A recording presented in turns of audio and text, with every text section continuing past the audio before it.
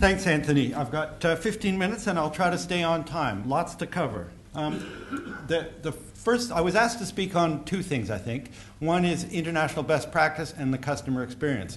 Um, I think I've got a couple of points that I need to make. First of all, there's many different kinds of rail access to airports, everything from trams to high-speed trains. They all do different things. They're not mutually exclusive. What makes sense at one place is really opportunistic. It's what you can do at each place. Usually you can't do all of them for, or even any of them for, for, for different reasons. The second thing is you need to um, understand who you're hearing advice from. Everybody, it's a regulated industry. There are lots of monopolies. Uh, and you, you know, everybody's entitled to be heard. But when an airline says something or when an airport operator says something, take it with a grain of salt and think about, well, why are they saying that and would they say that? Despite people saying that the airline industry never makes money, I think that's kind of like the rail industry never makes money. Lots of people make lots of money in the airline industry, in some parts of it. Think about who's saying it and what they're saying. There's lots of and misunderstandings. One of the reasons for that is that most people don't actually fly that much. Most people fly once or twice a year. Even frequent business travelers usually fly from one airport in one city. Um, and for many years, that was me too. Uh, you can detect my accent, but at the moment, I've got live projects in Germany, Nigeria, and Toronto, uh, and Ottawa and Montreal. Uh, and in the last few years, I've been traveling a hell of a lot. Um, and I, sad person that I am, I've been to 174 airports and I've used the rail links at 47 of them as a passenger for a reason. I don't think any, anybody here want to take me on? I doubt it. Hubbed at more at 30 airports. That was what I counted, 30, and that means hubbing. I hubbed long haul through Heathrow.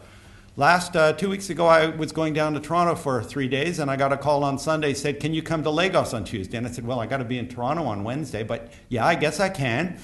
And I and I and I had to come back via Heathrow, no, via Frankfurt because the the hub through London was full. But I've hubbed through 30 airports, and I've thought about the airfares because I buy my own tickets. I usually charge them to somebody else, but I know what the experience is in business class and in seat 56K. So I speak with some experience. Um, and, and I've built and operated uh, transport services to airports and worked on them for a lot of real clients too. Um, so I'm not just an enthusiast, I think. Um, connectivity really important. If the air, if the rail link doesn't go where you want to go, with maybe one change of train, most people will not use it. Forget it. It's just it has to go where people want to go. So to say that you only get a certain share, well, yeah, but the railway only goes to a small part of the market. Um, speed and frequency are important. Sorry, frequencies probably and reliability are probably more important than speed for airport travelers. People won't wait two hours for a long distance service, and they won't wait half an hour or an hour even for a short distance trip if there's another way to go. Price is very important at some segments of the market, but an awful lot of but a lot of people will pay an awful lot. They'll pay a lot more for an airport link than they logically should pay. You get people going on a budget holiday who will go on Heathrow Express and pay 22 pounds instead of paying I don't know six pounds on the Piccadilly line. Um, uh, I'm going to go to quickly through. Piccadilly line probably has carried more airport passengers than any other rail link in the world. It's slow, it's crowded, you have to compete with commuters for a seat. Um, comfort's terrible. Um, uh, and my sister used it last week because she didn't want to pay for a minicab. And I said, you just sit in the last car, get a book, stick in your headphones, and grin and bear it for an hour and a half. It's still the best way to go. Um, and what people don't know is it was actually built, it makes money, makes an enormous operating profit for TFL. Michelle can correct me if I've misunderstood, but basically it generates 6 million passengers a year who fill empty seats on the other direction on the Piccadilly line. And as far as I can determine from the history books, London Transport paid for the extension. They built it to the central terminal area with their own money. There was no government grant or, or, anything like that, even as they kept running an airport bus as well, profitably for many years, for people who had lots of luggage and didn't want to go on the tube. It was a business. Um, they screwed it up a bit with Terminal 4. They should never have built the loop to Terminal 4. They should have told BAA, if you want to build a terminal over there, that's your problem, but we're not going to build a loop and make all our trips four or five minutes longer to serve that dumb terminal over there. Sorry, uh, but I think you're agreeing with me. And, and they probably, and I think the long range plan is to abandon it actually, because it totally screws up the service. People have to understand it means that one in three Piccadilly line trains at Leicester Square goes where you want to go, and the other two are going to Ruislip Gardens or Terminal 4. So, and I've almost missed planes because I've been dumb enough not to realize this myself. I've been on there Leicester Square. Jesus, I got to get to the airport, and I got to wait 15 minutes or maybe 20 minutes for my train. Heathrow Express, people, you know, every 15 minutes, but people know that and they're happy with it because it's fast. The price is eye-watering. I think it's just about the most expensive railway in the world per minute, No. per mile. No? No. Which one's which one's more expensive? Leicester Square Covent Garden. Oh, okay. Oh, okay. Yeah. That- yeah, that's true. That's true. Good point. Okay. Um, uh, uh, but it, again, it, it carries a small proportion of passengers, 12%. It's a very visible percentage. It's a great service. Um, I think it was funny when I first got involved. I did work for BAA when they were planning it, and they said they didn't really want to build it because they didn't think it would make money. The uh, IRR on the investment really wasn't up to their to their whack. Um, and uh, but they, I, I think that's probably not the case in retrospect. I find their their marketing is brilliant. They get all these suckers who come off thinking it's the fastest way to central London, and then discover it only gets them to Paddington. Um, and they sell you the ticket before you even get to the baggage hall, which is also brilliant. Um, uh, DLR, City Airport, very different example.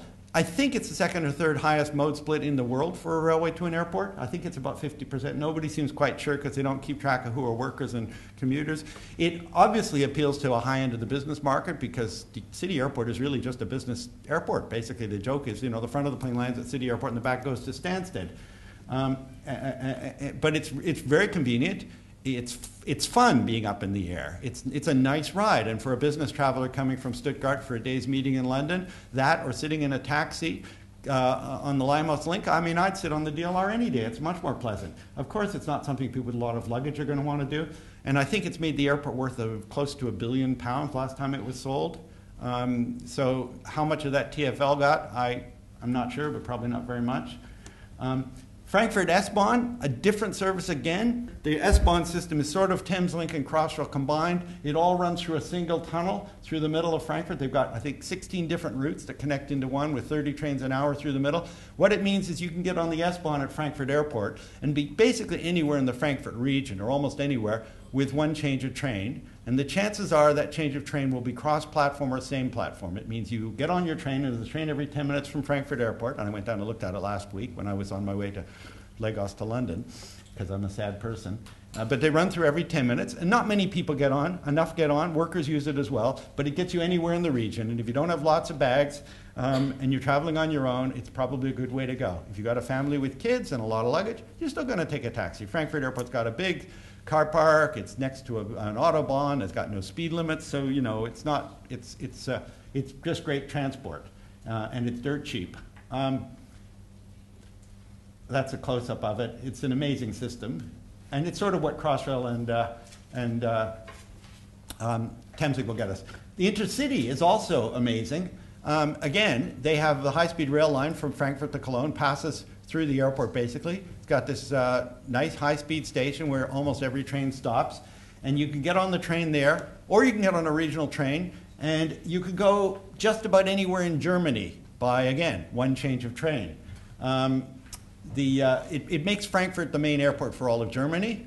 It's a bit odd because, of course, there's Lufthansa is the only airline in Germany, so and, and Munich is sort of a hub in Frankfurt. But basically, anybody in Germany who has to travel has a choice of either getting a connecting flight to a rival airport like Schiphol or Paris and changing, or getting on the train and going through Frankfurt. So it's, it's very important to make Frankfurt a key hub. As for the high-speed train, it's, it's a mind-blowing station. That's the station. It's a four-track station. It's like, this is Germany, you know, Stansted single-track tunnel into a little three-track platform station. This is a smaller airport. It's got this four-track station long enough for 16 car intercity trains. In comes a little S-Bahn train every half hour each way, and they get, I think, six high-speed trains a day that make the loop. Because even Deutsche Bahn couldn't be persuaded to route most of the trains in here because there's no market. So you got to know if you're going to say we're going to have a rail link and put it on the high-speed network, and this applies to one or two of the proposals I think that are being discussed today. Uh, you got to believe that the operator is going to want to run the trains. And if uh, you know Frankfurt Airport doesn't fill the trains, it just happens to be on the route. Quarter of the people may get on and off some of the trains, but three quarters are riding through, and that's fundamental to the economics of the service.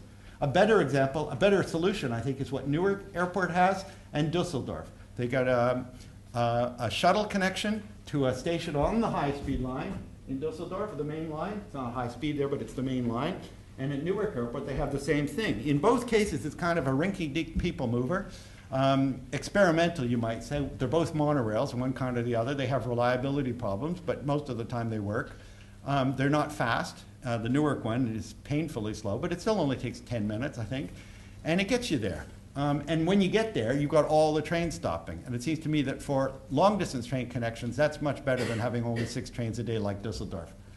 Um, that's the Newark connection. Gets you to Penn, Newark Penn Station, and there's three different routes to New York. It's the US, so it's not done very well because they don't do public transit very well, but it works. And it's still better than sitting in the Lincoln Tunnel in the morning rush hour while the taxi meter's running. The biggest terminal in the world, I think, is Shanghai Hongqiao Airport. That was 2006. That's 2010. That's 2012. It's gone from one runway to two runway. They built this enormous big new terminal on the other side. And the air's a bit foggy in China, as you point out, so even Google's not that good. That's the high-speed rail station. I think it's the biggest high-speed rail station in the world. I think it's got uh, 15 platforms, two runway airport, and basically all the high-speed trains in eastern China go through there and stop there. Uh, Chinese managed to do two things wrong. Um, the first thing is they, they treat passengers like cattle and cargo. So you have to go, they've managed to turn it into an airport. You have to go through airport style security to then wait for an hour to get on your train. So why, why bother having a high speed train if everybody has to check in an hour early and go through airport style security? But it's sort of like what Eurostar do. The other thing they do that's um, uh, quite dumb, I don't know if I have a slide on it, is they've got two airports in Shanghai.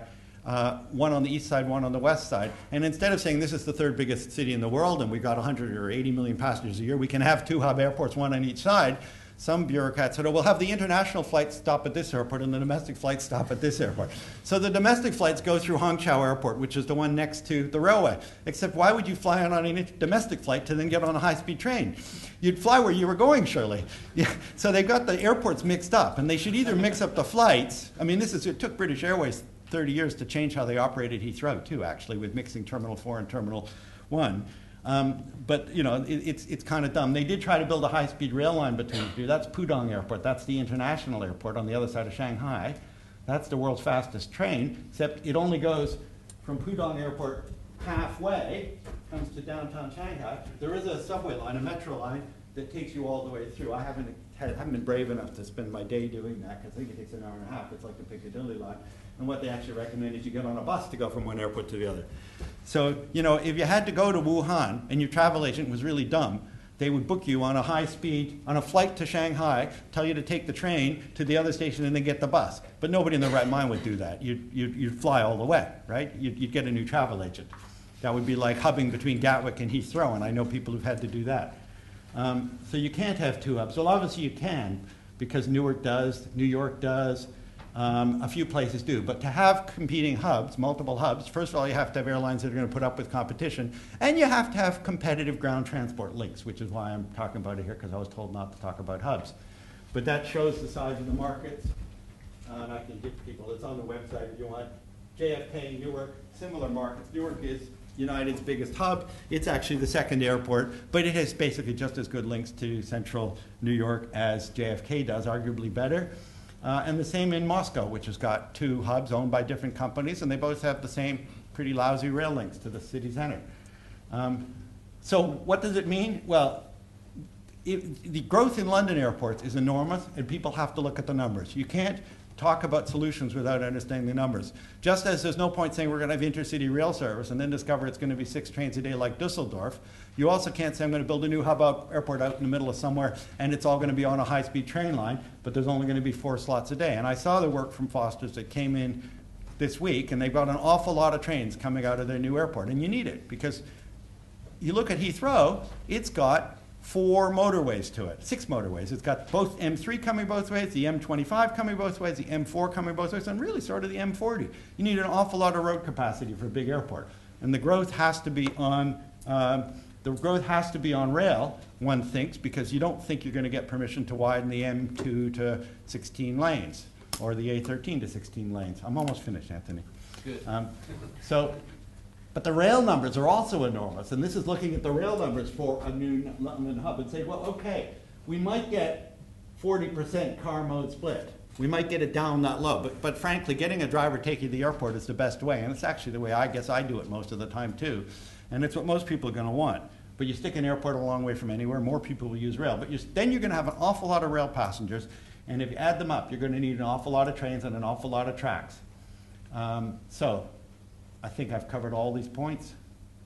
Um, Basically, each rail service means one less motorway lane, and unless you want to build a 16-lane motorway to your new airport, you're going to want as many trains as you can, but they've got to go to different places, They've got to be different kinds, You've got to think them through and think about whether people will really use them, and the train operators will really want to run the trains on them to make money. Um, And yes, be wary of loops. Uh, Okay, thank you. Thank you very much. Thank you, Michael.